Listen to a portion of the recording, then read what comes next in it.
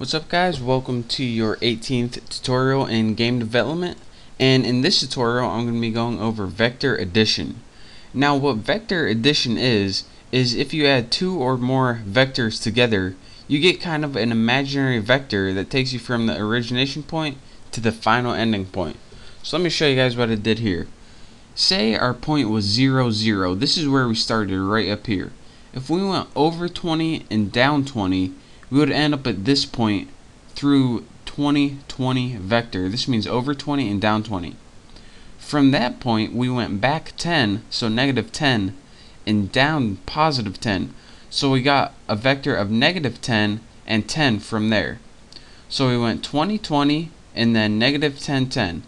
So what we do when we add these two vectors together is it gives us this third kind of imaginary vector and these this is the vector we're going to try to figure out the coordinates for. So in order to do this or in order to add these vectors together what you do is take the first coordinate of this and add it to the first coordinate of this and it gives you the first coordinate of this. So 20 plus negative 10 is 10 and 20 plus 10 is 30 so this third vector right here would be 10 30 my bedtime so that is the basics of vector addition. If you add these two white vectors, you get this third red vector. And again, that's from the origination point to the ending point. So let me show you guys how to do that. Uh, well, this was visually, but using uh, Pygame and Python.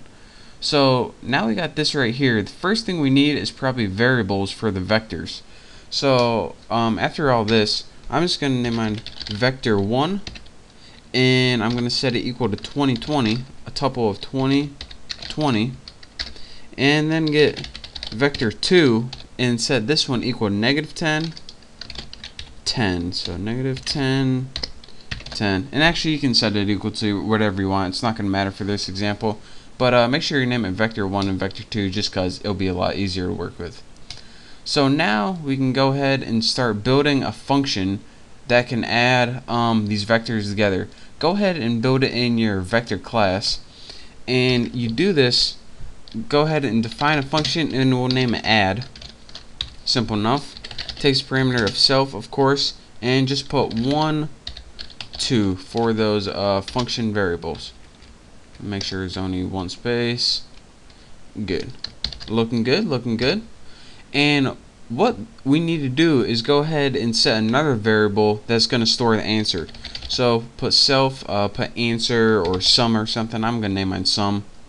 And what we need to set this equal to the is the first thing we need to do is add the two coordinates or excuse me the first coordinates of each of these. One is a tuple and two of two is a tuple. Each has two coordinates. So the first thing we need to do is take the first coordinate of 1 which is 0. Remember, it's confusing, but that's what it is.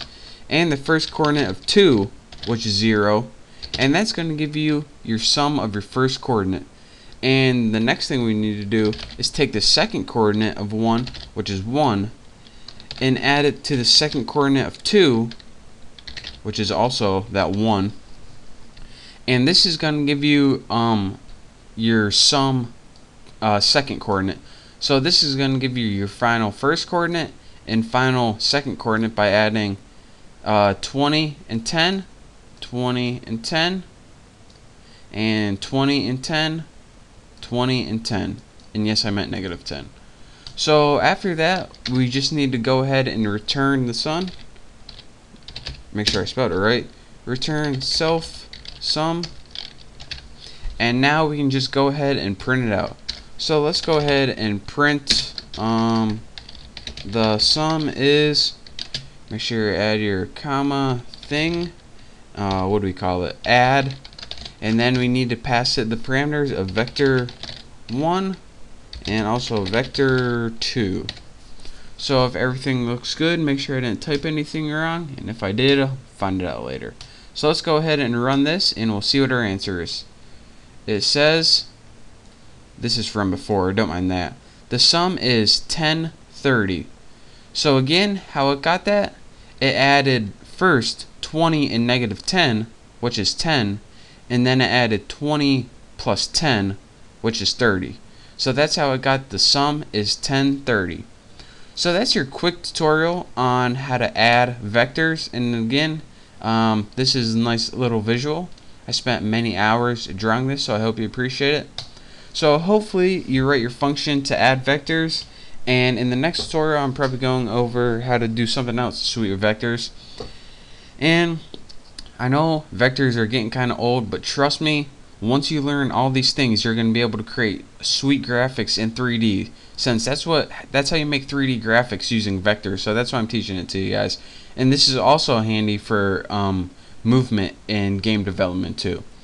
So again, thank you guys for watching. Don't forget to subscribe to my channel, and I will see you next tutorial.